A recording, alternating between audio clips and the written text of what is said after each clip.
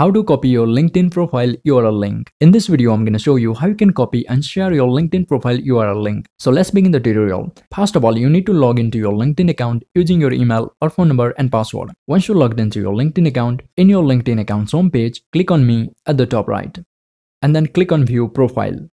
And at the right below public language, you can find your public profile and URL. And just under it, you can copy your LinkedIn profile URL. So let's copy it once you copied your LinkedIn profile URL, now you can share it to anywhere you want. And now let's check how would it look like once someone clicked it. Now let me open another page.